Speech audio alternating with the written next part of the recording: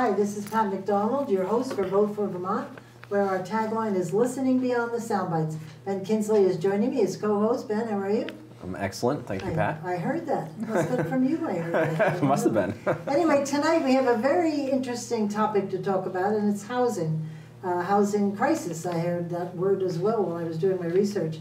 And with us today is uh, Peter Tucker. I'm got to read this, Peter. Who's the Advocacy and Public Policy Director for the Vermont Association of Realtors. Welcome. Thank you. Glad to have you join mm-hmm. us. And next is Ken Libby, who we've known each other a few years.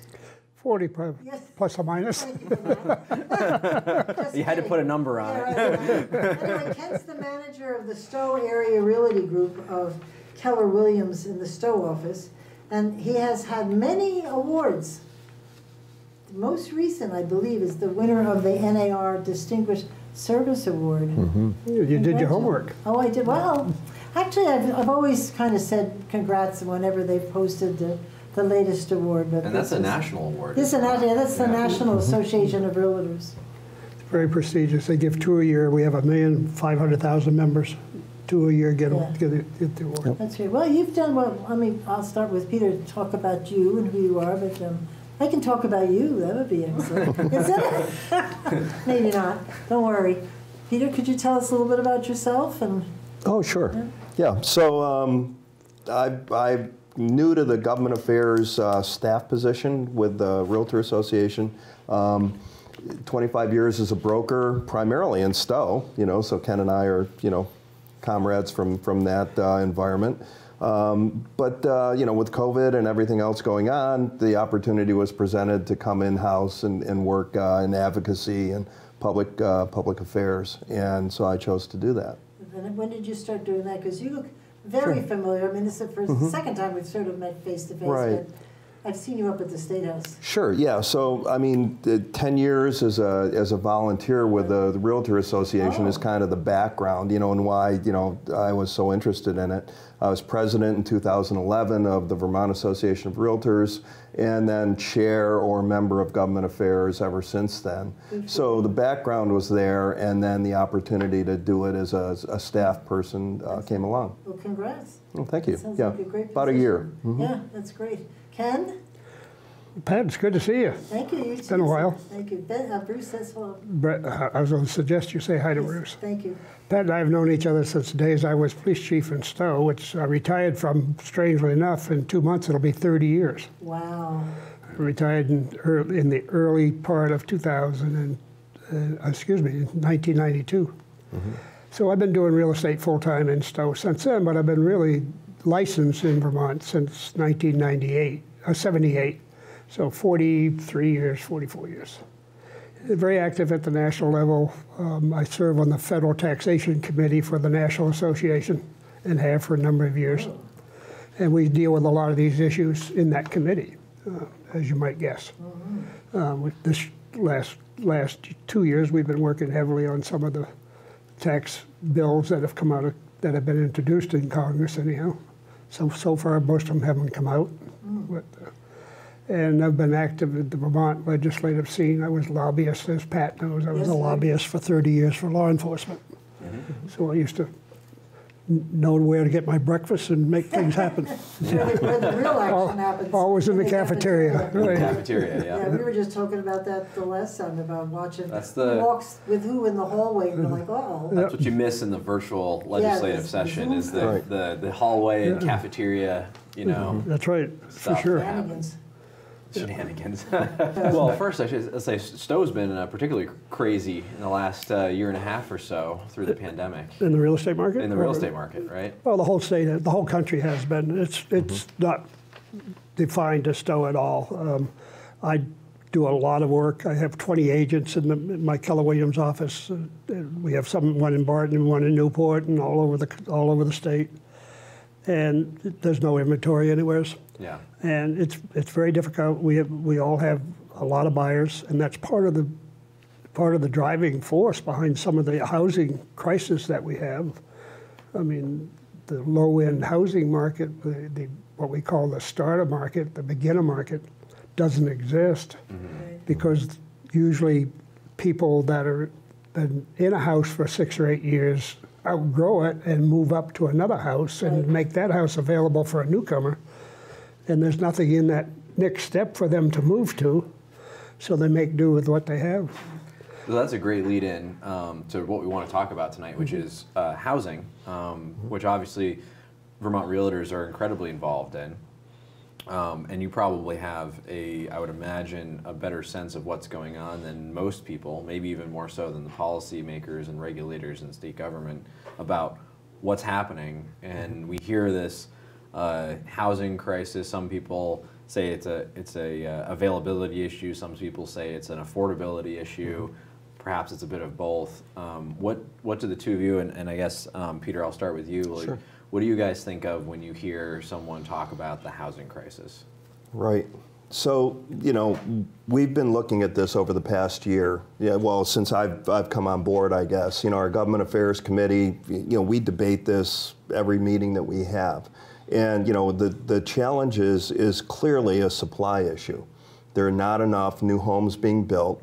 Um, you know, Ken and I have gone to national conferences where our, our economist, Lawrence Yun, has been saying, you know, nationwide we're missing by, you know, 100,000 units, you know, and, and, and this has been going on year after year. So it's not just Vermont, but it's certainly, you know, we're looking at it and saying, you know, this is why we have an issue because we don't have the supply of new homes to offer for sale. Um, so, you know, trying to create um, opportunities for builders and developers um, to build some of that workforce housing, especially. You know, we feel that, that at the high end, housing pretty much takes care of itself. You know, somebody wants to build a $2 million mansion, they can do that. Can You know, it's You mentioned work, workforce? workforce housing. What does that, what does that? Sure. mean? So think about uh, nurses, uh, firemen, policemen, teachers. You know, So that's kind of the yeah. standard, you know, uh, group. Yeah. who- okay. And and as Ken says, you know, where's the property available for them? And it just it isn't clearly available right now, right? There is not enough of those kind of homes. And, and then, you know, what that does, it freezes up the marketplace. Mm-hmm. So then all of a sudden, you know, people are challenged, they're, they're all competing for the same property. And, you know, that's where price appreciation occurs. Um, Yeah. We've, you know, people have seen tremendous appreciation of their home values in the last two years. My neighbor put her mm-hmm. house on the market, an old house, and but mm-hmm. very cute, and they, and that she was offered way more than the asking price. Right. She sold it in a week, Yep. Yeah. gone. It was, I said, you better be ready to move. appreciation that you're talking about Yeah. is because correct. people know, like people will buy whatever's available, even if it's below their what their price point normally be. So they'll offer high to make sure Right. they get it because that's what's available. Well, anecdotally, I've heard that people are buying houses sight unseen. Mm-hmm. I don't know if that's true, but, but that's because they want to get out of New York or get out of uh, the, the city environment and, Mm-hmm. so, but I don't know, but what do you think about housing crisis and, As Peter said, the, it's the driving force behind the crisis at the moment. But the mm-hmm. crisis has been going on for 10 years. ah, um, On the national level and, mm-hmm. and even in Vermont, the number of new starts has dwindled dramatically since 2009. Mm-hmm. And Lawrence Yun is the economist for our National Association, YUN, is the last name if you want to Google him. He's one of the most respected economists in the nation. And he says we're about uh, 15 million houses short, new Whoa. starts. Uh, because normally we would see anywhere from a million and a half to two million starts every year.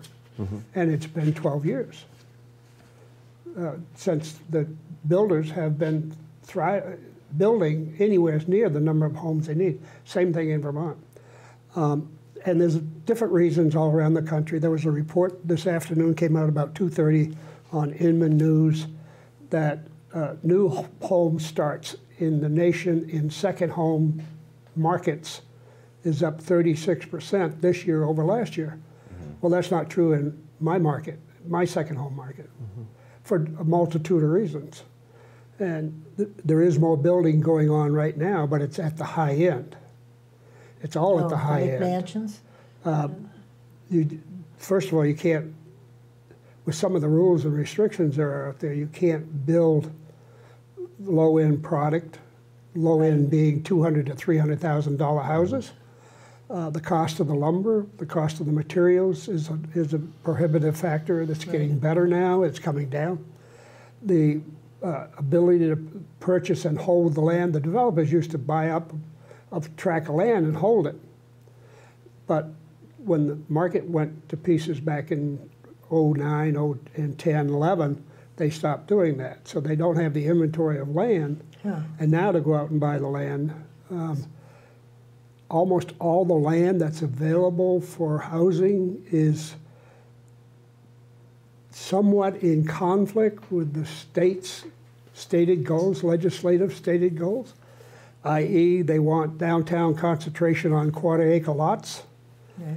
um, and they won't permit uh, multifamily homes on those quarter acre lots. They want just single family homes. That's not cost productive. Is productive. that in law? Is that? It's a, it's a, a housing development reg, Oh, interpretation oh, of the oh, law. Oh, okay, The the rulemaking. state. Yeah, rulemaking. Um, and then most of the open land is out. If you take Stowe, for instance, it's out towards Morrisville. It's down towards Waterbury. If you look at uh, Middlesex, it's it's away from the core center of the municipality.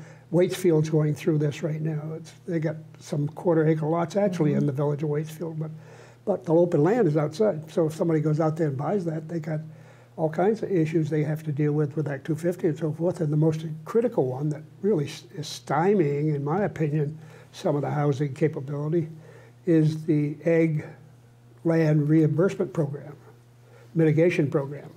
Ah, So if you build on it, there's a there's one right now. I forget where it is. I think it's in um, St. Albans. A four-acre parcel that is surrounded by, on one side, the hospital, on the other side, a senior living center. And there's this four-acre parcel that this guy wants to build on. And the state wants twenty-two thousand dollars for agricultural mitigation. Well, it might have been a farm at one time, Yeah. 35, 40 years Right. ago. It hasn't been a farm in a long time. And who's going to farm a four-acre parcel? right. Hmm. Yet the state wants to ding them for twenty-two thousand dollars for, for that. So there was a parcel in Stowe that, a few years ago that was a farm. It was like fifty acres on the mountain road, called the Gale Farm. Yeah. And it got all split up. One became a shopping center went in. The Shed Restaurant was part of ah. that. There was another shopping center on that side of the street. But there was 25 acres in the back of the old farmhouse that was open land, and it was owned by five different people. So one of the local business people bought those five lots from those five people and put it back together so he could have a parcel that he hmm, could something do with. something with. Right.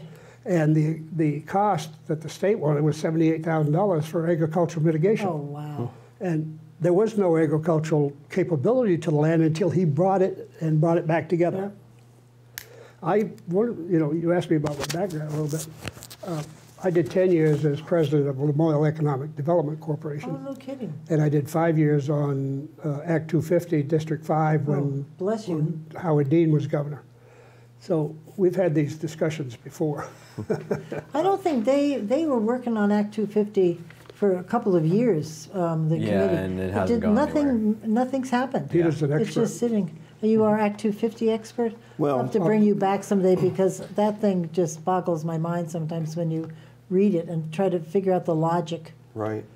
Well, in, and the logic 52 years ago was without a lot of local zoning, you know, the state needed to do something to, to curtail rampant development. Right. And, you know, as a, as a tool, I think it was, a, it was pretty effective. Um, I think the challenge now, because in the previous legislative session, you know, they worked on it for two years, couldn't get consensus, just, it was a huge battle, and nothing happened, as you say. Um, I think the challenge is that we waited 50 years to try and modify it.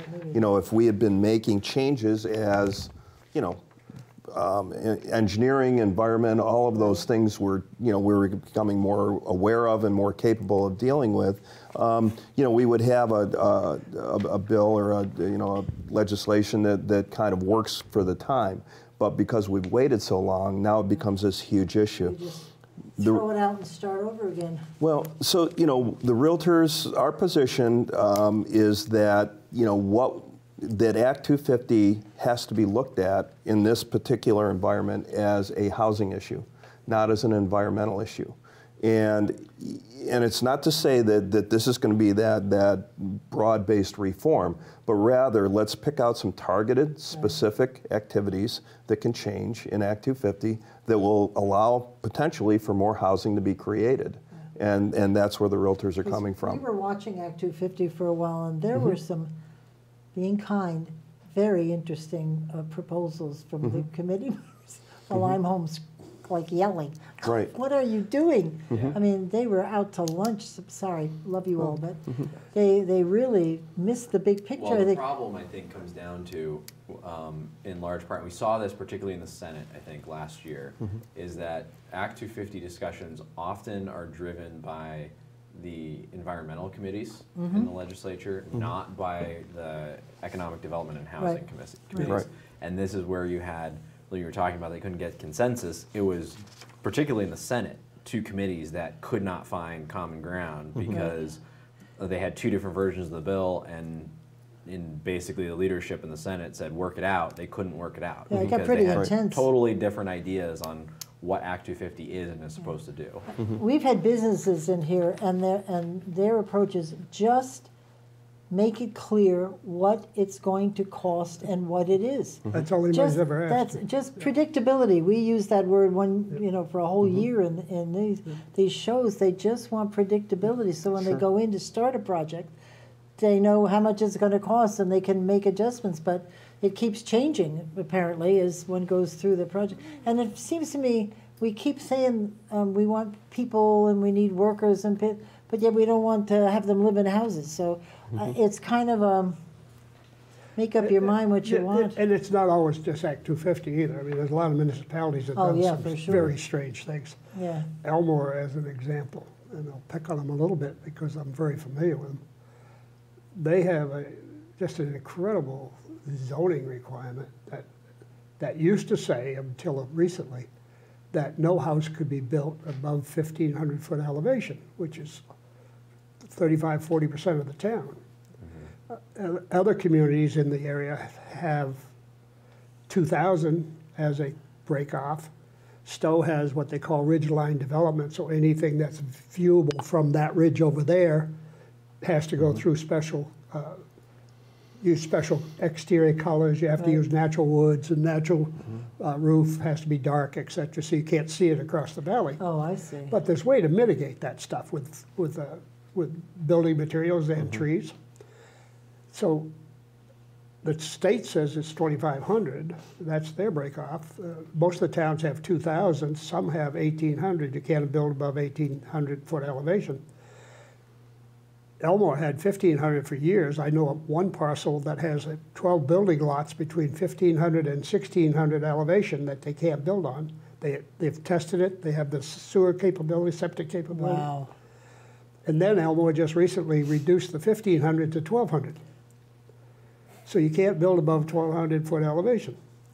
That's, I don't know what What the number is, but I'll is bet that? it's 40% of the land mass of the Yeah, town of I'm trying to figure in my head what kind is that a two-story, but pretty small. I mean, how big are these homes?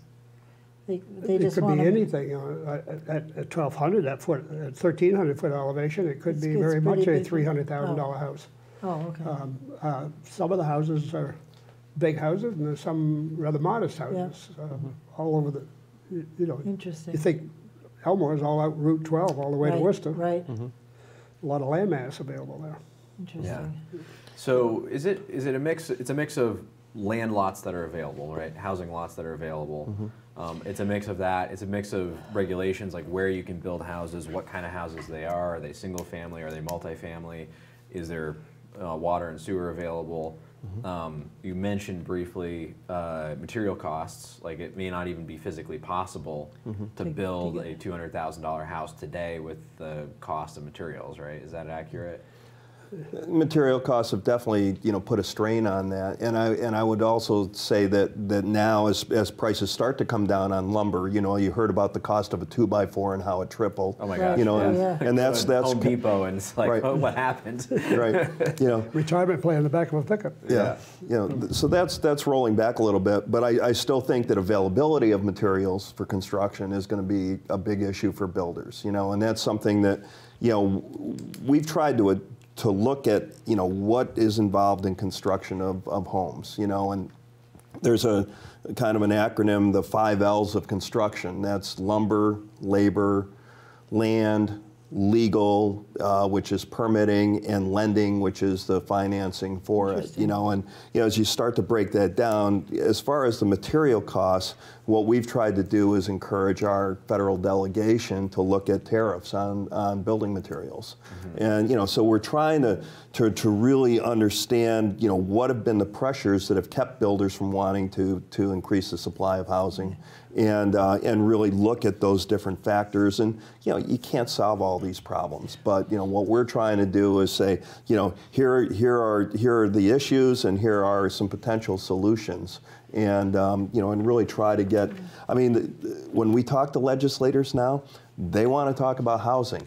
Um, the challenge that the Realtor Association has is that you know most of the ARPA funds, most of the discussion on affordable housing is for folks exiting homelessness and for subsidized rental housing. And you know, that's the right thing, right? Especially in the pandemic. That was the right thing to do. You know, our piece of the housing discussion is really in those properties for sale. And you know, we we believe beyond having a roof over your head that that owning a house provides stability for the family, stability for the community. Uh, kids do better, and you know, provides multi generational wealth for families as they start to carry those houses forward generation to generation. So. You know, we think that that's a really critically important part of our society, and you know, fortunately, Vermont has a fairly high home ownership uh, rate. Um, but, but at the same time, the disparity between you know white homeowners and BIPOC homeowners is fairly dramatic. Um, so you know, starting to address those kinds of issues as well is important to the realtors. And that partially could be an availability issue, right? Because people who have housing Sure. are more able, especially Mm-hmm. own housing, are more able to to uh, to buy new housing Right. because they have this wealth that's in property. Sure, they've built up their equity in their house, and now they can move it forward if they can find something, right? if they can You find know, something. Yeah, And yeah. and so and that and to what you're talking about that two to three hundred thousand Mm-hmm. um, market range is really critical for people that are potentially able to move out of rental housing Right. into a homeowner market. Right. That's the that's the type of you know um, price range that you're looking at for people that are jumping out of. You know that don't have that wealth, Correct. that property wealth, that are jumping out of a rental market, Mm-hmm. and that's not available anywhere in Vermont. No. That's correct. Yeah. I know, I just, I, when I did my research, it said Vermont ranks seventh highest in home ownership, which I thought was, that was pretty good. Mm-hmm. Yeah, Just that's that- good. Very Yeah. interesting. On a national level, five years ago, it was about 72% of people own their home, families. And the number today is in the low 60s. Oh, interesting. Mm-hmm. We bec- we're becoming a renter nation, Right, which is another driven whole by a show, whole bunch of issues. Yeah, Uh, One of the, your, your comment, uh, Ben, about uh, infrastructure. There's a study that's recently been done by a group of planners in the state of Vermont. And in their conclusion on their two-page white paper, they make this statement, which is so profound. But again, we caution that residential construction at the level necessary to create an adequate supply of safe, affordable, and efficient housing for Vermonters at or below a medium household income will not be possible without provision of infrastructure in more communities. And they back it up with 13 pages of study. well, and there was uh, Kathy Davis, who's uh, head of the um, Chamber of Commerce, I think in Chittenden County, right, Kathy? Yeah, it's the Lake Yeah, Chamber. and Yes, Lake Lake Champlain. Champlain. Mm-hmm. And she said, she wrote a wonderful article, which I read the whole thing because it was fascinating, that was um, talking about the impact of this shortage on the economy because employers can't hire people in because Mm-hmm. they can't find homes. So therefore, that's less workers. And it just this, what she talked about, it just that triple, you know, down effect that it's, There's it a- really impacts our economy. There's a I- gentleman in Morrisville that manages and has been successful working with different builders in managing over 100 brand-new units of rental housing. And he has a waiting list. Wow, And he could build another 100 if he could find the land, get the permits, and get Yeah. Act 250. Yep. One of the problems with Act 250, and it's so true on single-family homes as well as apartments, is by their regulations, builder can only build 10 units within five years, within five miles of each other. That's correct. Without going through all kinds of master planning hoops with the grief. with, with the Act 250.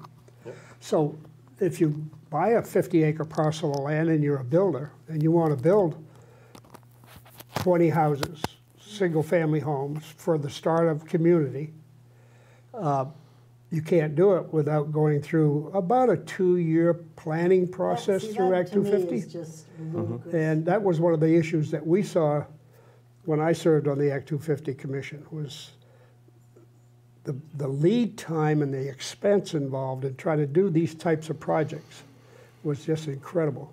One of the interesting um, construction techniques that's being tried in the country, it's been done in New York, it's been done in New Jersey, it's been done in California, it's been done big in Europe, uh, is 3D construction. 3D printer, construction of a house out of concrete. It's fast. Now, the printer costs about $300,000. It's a huge machine. And it just pour, and it It basically just, pours the it concrete. just, concrete you and put, you you put the floor plan in the printer and it pours the concrete, it goes all the way up to the like the roof. foundation and everything. Wow. Foundation walls, internal walls, everything. I'd love to see that. That Cost, it really cost about eight thousand dollars to build a three-bedroom house over and above the cost of the land and the cost of the printer. But if you can only do ten a year, uh, ten at a time, five years apart, there's, there's no economic scale for that. Right, right. Uh, But that's, that's, it's very interesting. Um, I've been following it. I've been trying to pay attention to it because I think it has a future. Uh, Concrete's a very good insulator. Yeah, for sure. Um, It's, it- there's, there's a couple of houses in New York that have been about, they're about two years old now. Uh, Everybody seems to like them and, and seem- Nice. they seem to be doing well.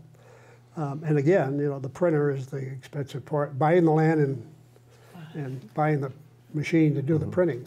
This may be a political uh, question which we, where we don't want to go, but there must be a reason why, act, I mean, two years is ludicrous. I mean, you should be able to get your permitting and all the stuff you want to do in a little briefer time than this. So there must be a reason why this is being stretched out and um, making builders sort of depressed and not want to, not want to do it. I mean, is it all about the environment? Is that what we're doing? Bottom line, you think? If, if I may, Yeah, please, only because it is a political answer, but I, Well, not, not so much a political answer, but, you know, I think that, that you know, back to, to Ken's comment on the Act 250, the, the 1055 rule, this is one of our specific objectives, you know, in terms of uh, eliminating or modifying that. And wh- what's the reason for it? Well, the reason is, you know, that small builder that we want to support in Vermont villages who has been building, you know, two or three homes. Um, let's say they build three homes a year, you know, so first year great, second year great, third year great, fourth year, if they build that one additional unit, they're in Act 250. And so now they have to provide, you know, wastewater, stormwater, all of the, the things. And, and I did want to step back to permit, I'm sorry, but, No, you know, to right step back to permitting a little bit. Um, that, you know, it is an, Act 250 is kind of the, the, the term that we use, but it's the Agency of Natural Resources permits, the Act 250 oversight, and municipal zoning and planning, those are the encompassing permitting issues, right? And you know, I've been concerned, hey, we get Act 250 changed, and you know, towns don't take advantage of it. Um, you know, why are you know why go through the effort? Um, but I've realized that there are certain municipalities that will be very enthusiastic about this. St. Albans has been one that, that's really taken advantage of TIF districts and, and you know downtown redevelopment. Um, other other municipalities will be like that, and and so you know our goal or our efforts will not be you know wasted. Um, but it is going to be up to local zoning to, to kind of embrace it as well. Um, so the 1055 rule, you know, you can see what happens. You know, it really retards those smaller builders from being active in their local markets. Um, you know, we think if, if that changed, that um, that they would be able to build these, you know, two units here, four units there, and, and look at, I mean, I look at the city of Montpelier all the time, and I'm like, well, this is great if we got, if we could avoid Act 250 review in downtowns and neighborhood development areas, um, you know, that would be great. Montpelier could build a lot more housing, but where? You know, right? And we haven't identified those areas yet, and that's another critical piece. Um, you know, to, to kind of what we're thinking that um, you know it may not be 20 unit subdivisions. It may be two here and one there and four there. But if we could, if we could change or modify that rule so that that, that small builder could say, I'm going to build what I can find in this community, and I'm going to I'm going to bring new housing online, that they would then, you know, they would be doing exactly what we need them to do. And um, you know, we feel like that's a much better solution. Um, you know, to try and get some infrastructure and, and some building in downtowns and neighborhood development areas. Well, and it may not even be necessarily a, an, a physically new construction. Mm-hmm. Um, it could be rebuilding or, re, or, or refurbishing something that's Yeah. there already, right? You Yeah. have Vermont and like much of New England has these large Victorian style houses. Many of them are in downtown areas. Mm-hmm. Oftentimes they're either underutilized or they're run down or you know haven't been um, maintained. Right. I think uh, the um, ACCD did a, did a look at this, or the, the Department of Housing to look Mm-hmm. at this and said we think there's between seven and eight thousand units currently that are that are in this state of not not being Mm-hmm. able to, to be utilized for housing because they don't meet zoning, they don't meet um, Fire safety. fire safety requirements. Mm-hmm. Uh, the city of St. Albans, um, you know, they've done a bunch of stuff with housing. Yep. You know, both up near the interstate as well as down in the village. And the village alone, like right on Main Street, I think they added 200 units of housing simply by with the existing structures. Mm-hmm. Like either add another story or you know split uh, uh, what was a single family home into a duplex. Mm-hmm. You know, you can you know. Well, again, those large Victorian ho- houses that you know Sure. you don't need 5,000 square feet. Most families don't anymore. Um, so you can split it. Mm-hmm. Right. You know, and that's there's some stuff we can do with that where you don't necessarily trigger Act 250. That's not going to be the case everywhere. But Mm-hmm. you may also have an open lot of like, oh, you could subdivide this one lot that's in a downtown area and build another building next to it. You know. Mm-hmm. Right, right. And think about commercial buildings and, you know, there are a need for office space in, the, in this current environment. Um, you know, there's, there's going to be a, uh, I think, a serious retooling of a lot of properties, you know, in the, especially in the downtown areas that, um, that are, are deemed commercial at this point, but the most, you know, the highest and best use down the road may be residential. And, and being able to clean those up, make them available, um, and then turn them into productive residential properties is, you know, certainly something that's going to have to happen at the same time.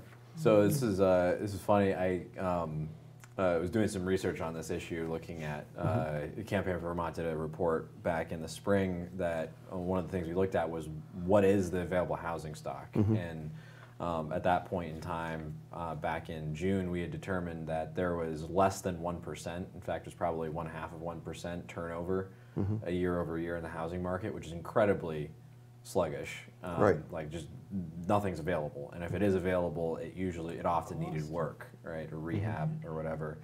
One of the things we noticed when we were doing that is there was a commercial building in South Burlington, right next to the airport, that was a bank. Um, so it was like a commercial bank, um, and had been repurposed into a into a condo development. Yeah. So it's an office building, Right. but it has condos inside of it. Right. And this is an example of like kind of what you're talking about of taking some of this innovative. Maybe we don't need all this office space anymore in today's world. Mm-hmm. People are working from home. Right. Turn it into housing. I think you're going to see that more and more post-COVID, not only with the office buildings, but uh, some, some of the motels, hotels, bed and breakfasts that are around the state that are probably struggling very hard to, to maintain livelihood. So you bring up a, a good point. Um, something that um, I had in my notes here is that uh, between 2014 and 2019, we went from thousand uh, units of short-term rentals in the state Right. to 8,000 units over that five-year period. Um, do you think that's having any impact on um, the availability of housing stock, or are these units that are weren't residential necessarily that are becoming short-term rentals? Like, do you think that that's having an impact, or is this sort of just a, a side issue to this?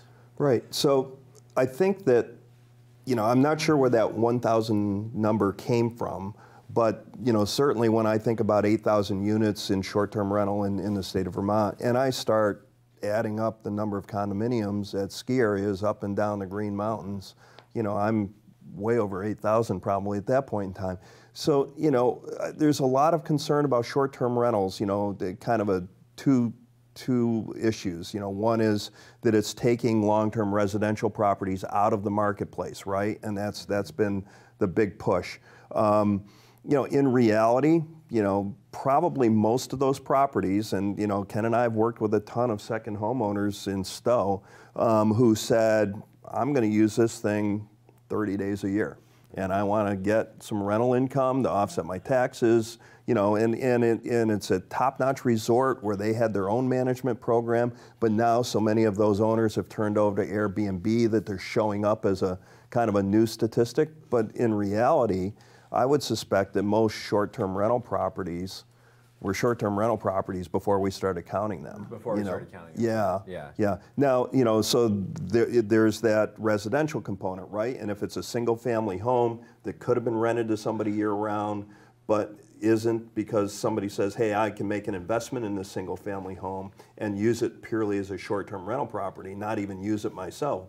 Right. You know, that's, you know, obviously a legit concern. How big is that? Um, you know, we don't know, obviously. Um, but I don't think, I think when I look at short-term rental properties and I start thinking about all the condominiums that are naturals for that kind of activity, um, you know, that's, it's gonna be significant in Vermont, which is a, is a resort and vacation state.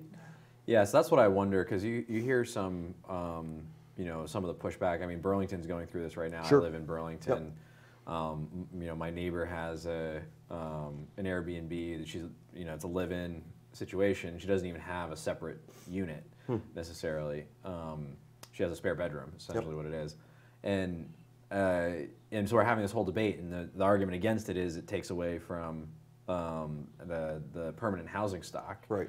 But I'm not. I kind of think that there's probably more going on there, right? To your point, maybe we're just now calling these short-term rentals. Really, this was a second homeowner, you know, uh, vacation rental uh, situation before we started calling it a short-term rental, and then, then you have some of the some of the newer units maybe that are you know in-law apartments and that sort of thing, and then um, that are now in there, and those probably wouldn't be standalone rental units because Right.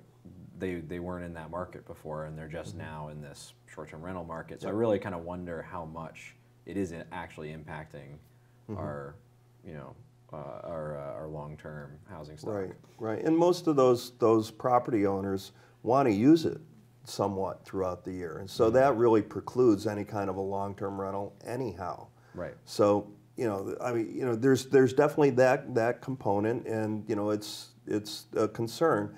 I, I think it has a lot more to do with where it's located than, you know, so in other words, a short-term rental in a condominium at the base of a ski area is, seems like a kind of a normal use. A short-term rental in a residential neighborhood that could potentially be used for a, you know, year-round residential uh, property, see. you know, has a different Right. um, different weight to it. And, and so, you know, I think that, you know, while the state has tried on a statewide level to, in, to have a rental registry, um, you know, short-term rentals have been regulated since 2018, so the regulation wouldn't change at all, really, quite honestly. Um, you know, they'll do the same thing, pay rooms and meals tax and adhere to property or uh, health and safety codes. So they have to do that. Um, but I do think that there is, you know, on a, on a local level, there's going to be more discussion and more debate. And, um, you know, and, and there's places where it's appropriate and places maybe where a municipality wants to, you know, to regulate it. Um, and, and Burlington is an example of much more of a residential market, even though we know it's a, you know, it's a great place to come and visit. Yeah. Um, you know, it's a bigger residential market, and I think they're, you know, they're kind of looking at it from that perspective. This is Burlington is still the largest uh, tourism destination in the state, though. Yeah. just in case anyone was wondering Right. that. I Googled this issue and there's so many articles on it. It's a big deal. Yeah.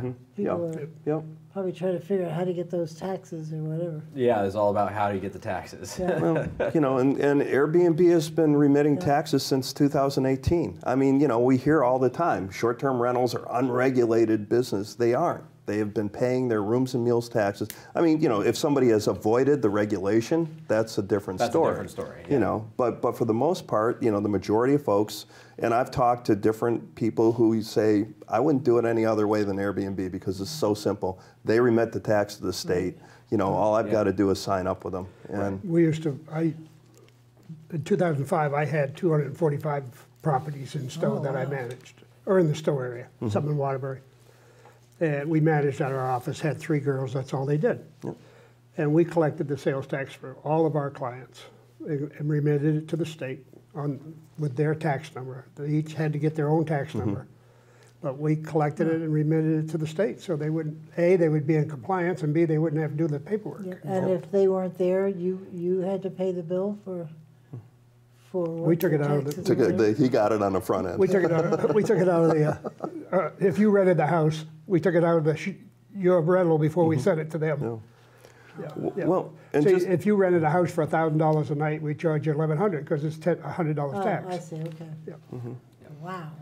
So how do we so how do we go about um, how do we go about solving this issue? Like Mm-hmm. there's you know obviously there's multiple facets to it. Um, if you could you know get the legislature or maybe it's not more than just the legislature maybe it's um, Sure. you know the the markets or the local municipalities or a combination of the three like what what do you think it's going to take to solve this problem Mm-hmm. of how do we get affordable entry level um, houses that people can buy Right. I, I think it's a combination of factors, um, and I won't hit them all. Peter will hit some, but uh, I think you know Act 250 was designed, as Peter said, because it, almost nobody had zoning, and the mess that went on down at Mount Snow, uh, down at Haystack Mountain is what precipitated it all, and and uh, but today most towns. There are still those outliers that don't have zoning, but I venture a guess 90% of all the towns in the state of Vermont have zoning of some nature, and some have very sophisticated zoning. Mo- many do. Uh, I know in Lamoille County, out of the 10 towns, there's seven at least that have very sophisticated zoning. So a recognition on the state's behalf that those people, those towns that have that level of zoning, should be able to set their own rules and regulations, and then have the state regulatory agencies get out of that life.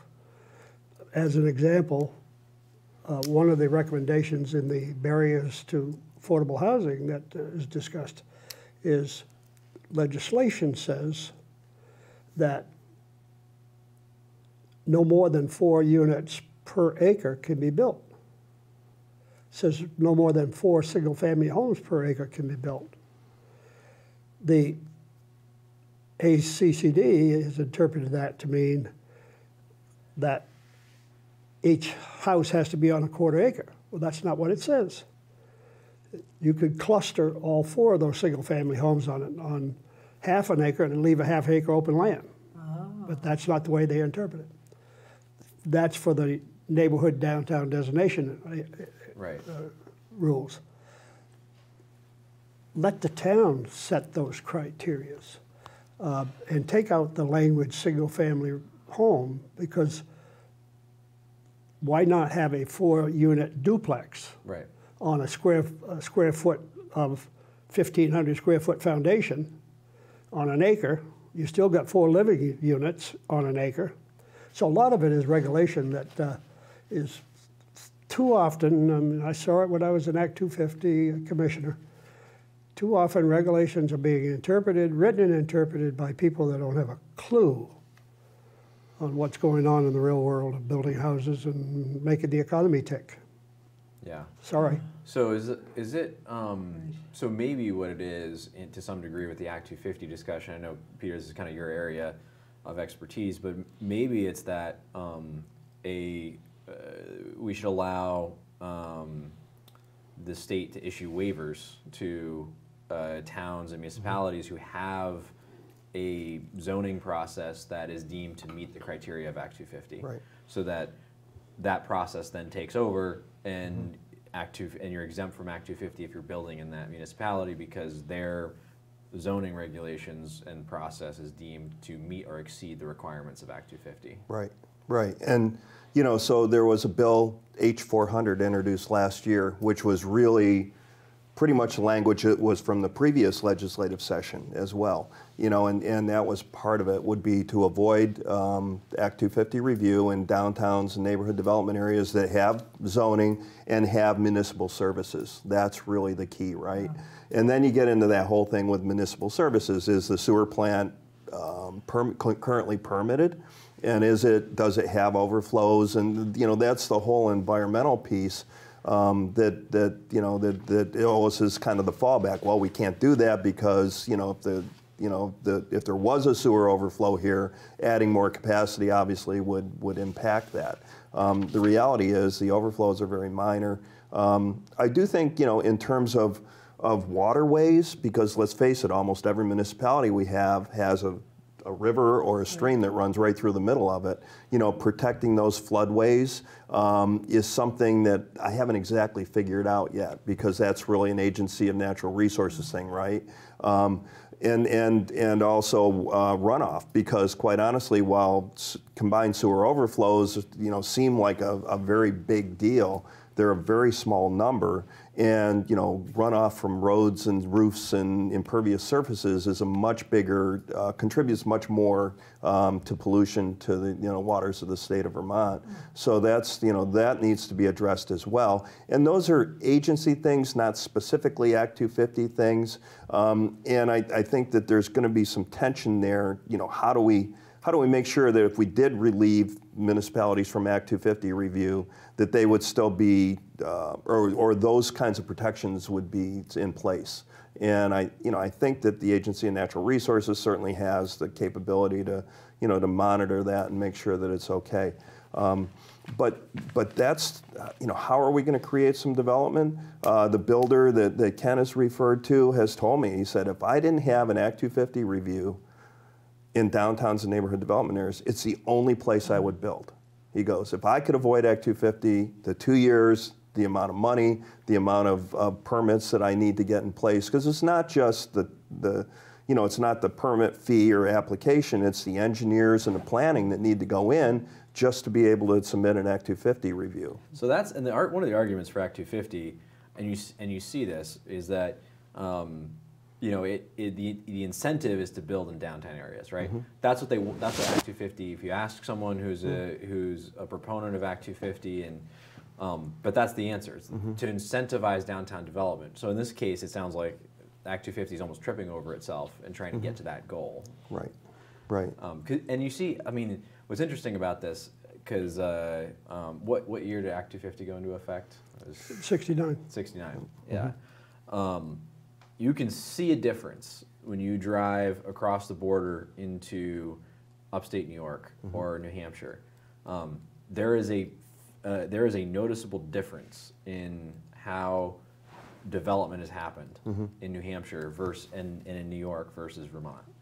And uh, Act 250 has literally changed the landscape mm-hmm. of our state because it has, in many cases, incentivized downtown development the problem is all of our downtown development is now single-family homes, and there's no room to grow anymore.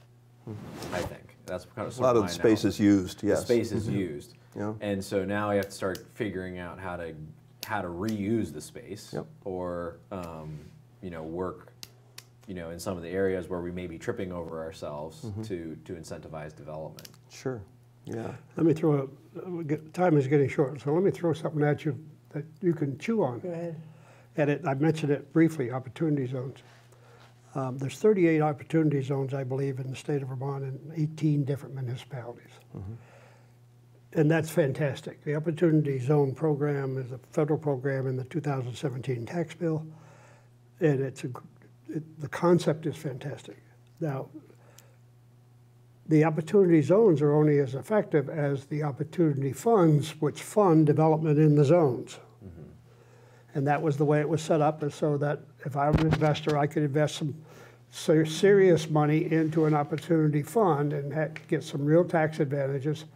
But that money would be available in the, the distressed areas around the nation to help with housing and or This is a federal infrastructure particularly.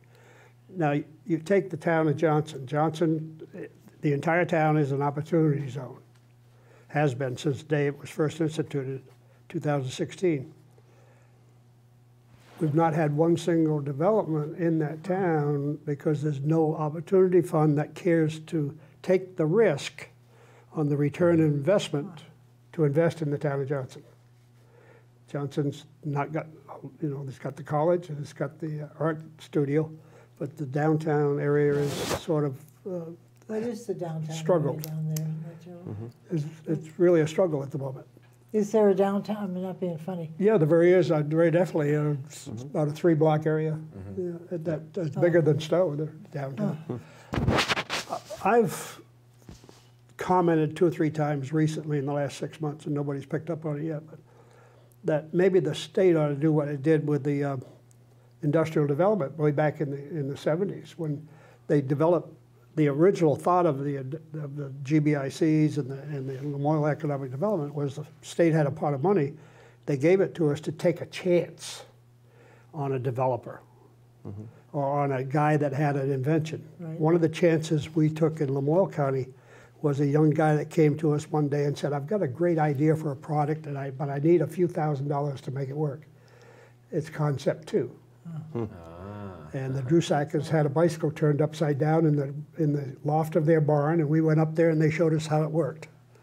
And we threw them a bunch of money and they started building it. We also had a guy come in with a very ingenious idea one day, and we threw him a bunch of money and he went defunct. Mm-hmm. But the goal was to take a chance. right, right. And I think we should do that with the Opportunity Fund. I think the state should develop an Opportunity Fund that's willing to take a chance on the Johnsons of Vermont Well, and help I think that's in great building idea. up the downtown. Yeah, There's, there's beautiful buildings there that could be, that need repurposing as uh, single-family and or multifamily, uh, maybe not rental units, maybe condos. Take one of those huge old Victorian homes and make it three condos. So somebody has ownership. yep, Because as Peter said, it's clear that generational wealth starts with home ownership. yep, Um, it's- the- Statistically, $72,000 of equity, if a, if a person bu- buys a house in the fourth year of ownership, they'll have seventy-two thousand dollars more in equity than somebody that rents that same house. And, you know, that's significant. People don't think about that, but that's, that's where you start great. building wealth, is the equity in the real estate And What traditionally. town was this? um, Pardon? What town were you talking about? What town was? um, Johnson, Johnson. yeah. I mean, that's a great town. They have a lot of spirit in that town. They Yeah. do a lot from the community. It's a, and they're trying so hard to build that Yeah. community back up, but they just need that one person to push. You know, we've been hoping and hoping and hoping to get a uh, opportunity fund. I work with a gentleman down in Atlanta, Georgia, that has an opportunity fund, but he invests most of his stuff in Texas. I've been trying to convince him to come to Vermont, but That's great. um, Good for you. you know, I think I think that's I think the state could do something um, with a state opportunity fund where the state puts some money in and structure it like we did back in the day with the uh, economic development. Uh, So there is an investment piece to this too, that the investments in Vermont from the financing side, it's not that there isn't money, it's just that it- the investments look too risky. well, certainly, certainly in the opportunity zones, that's why they're opportunity zones, is because they they are distressed. Yeah. And so the return, you know, every investor wants a return on his investment to some degree. Mm-hmm. It seems to me the opportunity zone would be perfect. I don't understand why they don't feel that that's, that's an okay investment. I'm not sure it's been run up the flagpole. Oh, mm-hmm. that's too bad. Yeah. Yep. Too bad. And it can, correct me if I'm wrong, but it can be for specific projects too, Oh, right? yeah, but Like in other words, if an investor said, you know, I'm willing to invest in this project and it happens to be in an opportunity zone, they would be able to reap the rewards of the opportunity zone benefits. Yeah, benefits. the tax Great. incentives. Exactly, and whatnot, yeah. Yeah. I have a client that owns 22 buildings in South Royalton. South Royalton's an opportunity zone. Hmm. And he's been trying to find an opportunity fund. Yeah. So I'm he's, surprised with the builders out there that they. he's exploring advantage. starting his own fund Yeah. Yep. because of the tax incentives. Sure.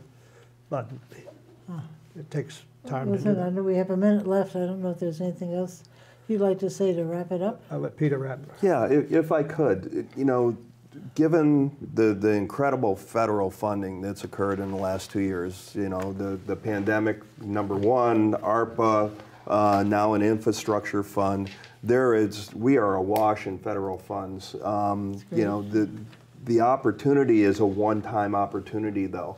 And, you know, I, I look at it from like a municipal level. You know, we've got, they've got X number of dollars coming in and they can spend it on the library or the fire engine or the municipal wastewater plant. And that, that has to be specific? It, well, they're you know they're going to be general funds, and there will be rules for those. But you know, generally, you know, towns will be making decisions. The state will be making huge decisions on how to apply these funds. And you know, the more that goes into that base, it's not pretty, and, but it's you know, wastewater is like a key to any kind of you know real real opportunities for development. And and you know, quite honestly, plants that are permitted plants that are, are brought up to speed or expanded, um, you know, we feel like would be an excellent use of those funds, and we're going to encourage the legislature to, you know, to direct as much as they can in those directions. Um, it's a it's a one-time opportunity, and it, you know, in the next two or three or four years, it's going to end. And you know, if, if we use it correctly, we're going to make great progress. It needs to be in conjunction with some reform to permitting. And, uh, you know, we feel Where- like Is that it in the legislature? Did it come out? Was it in one of the uh, bills that passed this year? um, well, they've done it in various ways, yeah. I mean, the- you know, so there were a lot of bills that didn't make it to the finish line that would have directed funds, but it, the funds ended up in the budget, uh, the budget bill. Um, and, and, you know, we'll just continue to encourage Yeah, that so that, that properties can be redeveloped in downtown areas, that municipal wastewater systems can be improved. And, you know, that we, and, and then what happens, you know, if we start to have some new construction, we create flow to the marketplace. You know, one of the things that, that, that we've always encouraged, I think, you know, we understand that housing is a, a paradigm, you know, and, and it goes from the step out of homelessness to the step into home ownership. And, you know, if we can help with that, we create better fluidity in the marketplace and we get back to a more normal market, you know, instead of this just peak and trough and you know real the real pressures you know that that nor, that the market conditions we're looking at right now. So we we really feel like that's the opportunity at that you know whether it's workforce housing or or that base price point of housing. You know if we can start to add units at that level we start to create motion in the marketplace and, and things become more balanced and more stable Awesome. Well, hopefully we get there, and uh, we are out of time, unfortunately. So, um, thank you both so much Yes, for thank you very much. joining us, and thank you for for watching. And we'll uh, see you next week. And until the meantime, keep listening beyond the sound bites. Awesome.